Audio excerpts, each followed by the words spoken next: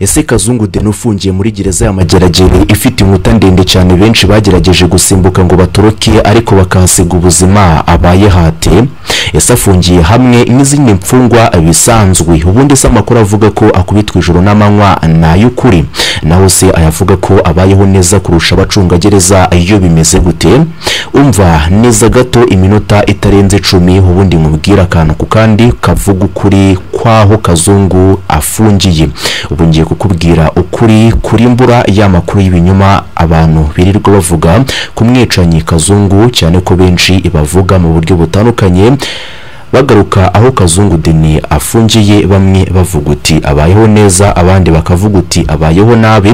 Ariko uyu munsi dukurikije ubushakashatsi twakoze ndetse n'amakuru twagiye dukusanya twaje kubona ukuri nyako kw'amakuru asobanura neza aho uyu mwicanyi afungiye. Ikaze cyane nanone kuri rwanda online ikaze cyane mu makuru acukumbura mu buhanga kandi azirimuha niba ari ubwa mbere ukigera ngaha kandi ukaba wifuza gukora kuri subscribe kugira ngo ujye ubana natwe umunsi ku wundi.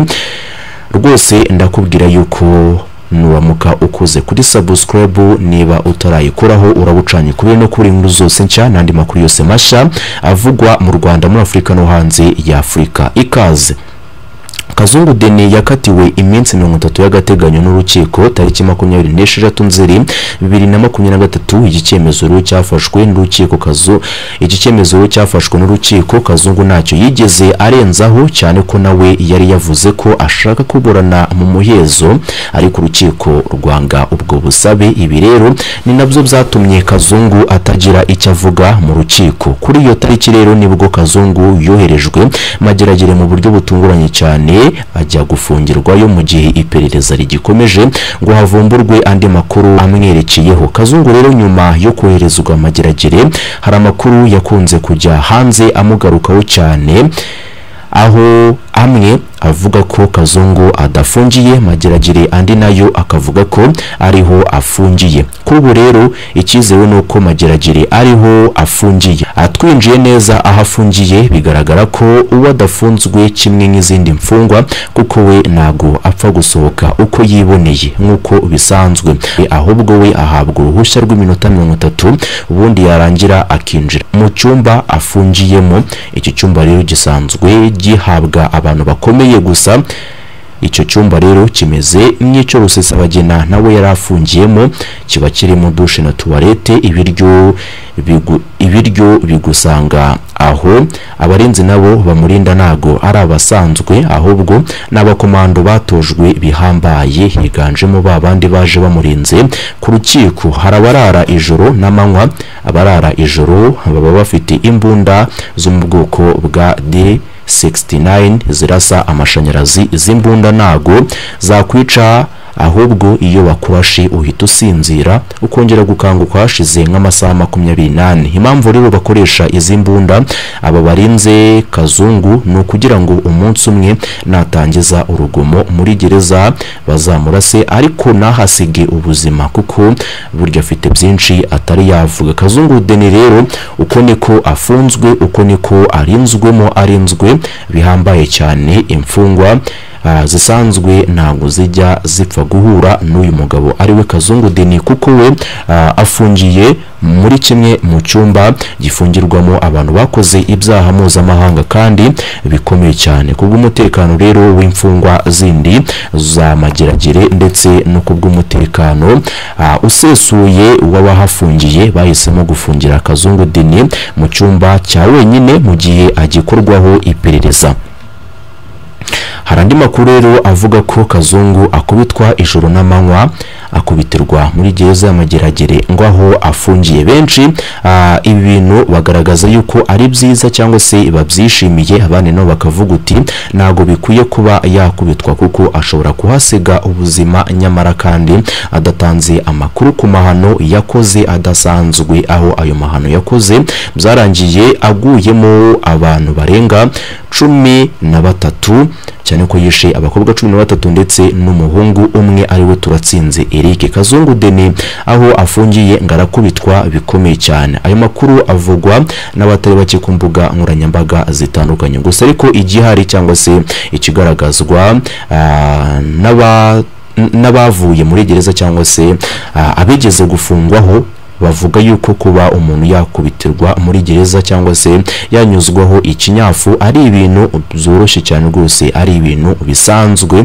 Cyane ko iyo umuntu ari muri gereza akurikiranyweho ibyaha bitandukanye hari igihe ashobora gukora ah, insubiracyaha bikaba ngombwa yuko akubitwa mu rwego rwo kumucyaha ndetse no kumwereka inzira nziza ashobora kugenderaho kugira ngo azabashe kongera gufungurwa biba gakeya cyane ko umufungwa yakora urugomo muri gereza akaba yarwana n'imfungwa ngenzi yayo ariko burya iyo bibayeho bajya kugufungira ahantu ha wenyine ubundi ugakubitwa nyuma yo gukubitwa usubizwa mu mfungwa zisanzwe cyangwa se muri bagenzi bawe wamaze gushyira ubwenge ku gihe. Ibi rero kazungu kuba yabikorerwa ah, bijyanye no ku mpamvu z'uko ashobora gukora ibitari byiza muri gereza birimo gu- gushaka gutoroka ndetse no gushaka gusuzugura ibyemezo biba byafashwe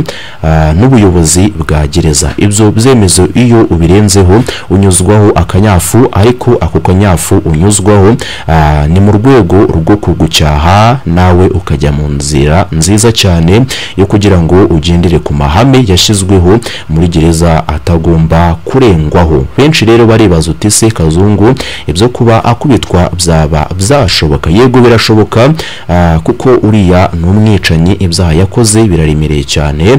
Ah, kuba rero yakubitwa nta n'ikibazo cyaba kibirimo. Cyane ko abo yiciye bo bumva ah, kuba yakubitwa bidahagije ahubwo yanakwicwa. Amakuru rero avuga yuko kazungu akubitirwa muri gereza sitwatindaho cyane kuko nta rwego na rumwe rushinzwe umutekano rwari rwagira. Icyo ruyavugaho gusa ariko igihari ni uko kazungu deni afungiye muri gereza ya mageragere. Ikindi kandi kazungu deni ah, nk'uko bisanzwe we ntago abayeho ah, nk'uko izindi mfungwa zibayeho imfungwa ah, zisanzwe ubundi zigenerwa ifunguro ryo kurya rimwe gusa. Bahabwa ah, amafunguro rimwe gusa ku munsi ubundi ibyo biryo bakabiryaho mu gitondo saa sita na nimugoroba bakongera kubaha ibiryo ku munsi ukurikiyeho. Kazungu rero siko bigenda kuko we yitabwaho afite n'umuga- afite n'umuganga uhoraho umwitaho mu buryo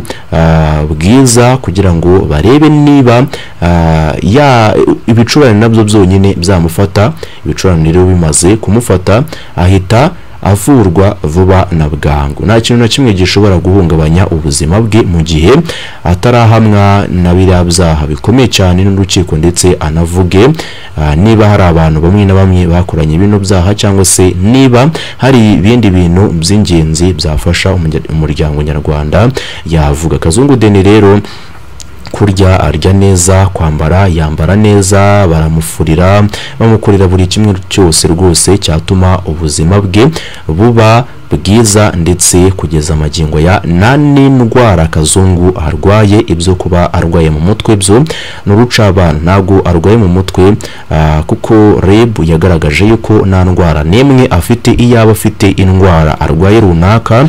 Reb yaba yarabitangaje kuko burya mu rukiko yavuze yuko impamvu yicaga bariya abantu ari uko bamwanduje virusi itera sida ribu rero yamaganye ah, ibyo kazungu deni yavuze ivuga yuko nta burwayi na bumwe afite ko ari muzima ari mutaraga. Kazungu deni ni uko nguko abayo muri gereza ikindi kandi ah, gusurwa biremewe wamusura kazungu umuzi uri umwe mu bo mu muryango wamusura rwose mukaganira nta kibazo nk'uko bisanzwe bigenda ku zindi mfungwa zifunzwe iminsi mirongo itatu y'agateganyo ndetse n'izakatiwe hariya gu- gusurwa biremewe ah, kuganira biremewe ariko nanone ntago we aba yisanzuye cyo kimwe nk'izindi mfungwa kuko we burya icyaha yakoze kiraremereye cyane yagaragaje yuko kuba yabaho ah, muri sosiyete atari ikintu gisanzwe cyangwa se atari ikintu cyapfa kumworohera kuko iyo umuntu ari umwicanyi